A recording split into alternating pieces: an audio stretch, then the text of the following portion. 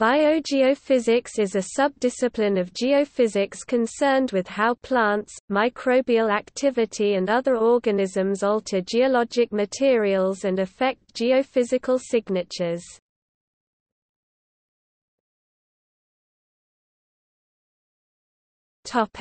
Introduction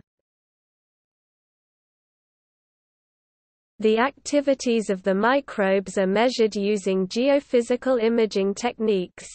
A lot of these techniques are based on the measurement of electric potential anomalies, which in this case can arise from microbes, their growth, metabolic byproducts, and microbially mediated processes.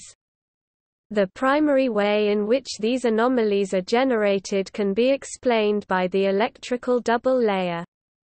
The effects are most visible when low-frequency field is used as the surface charge of microbes is of low mobility.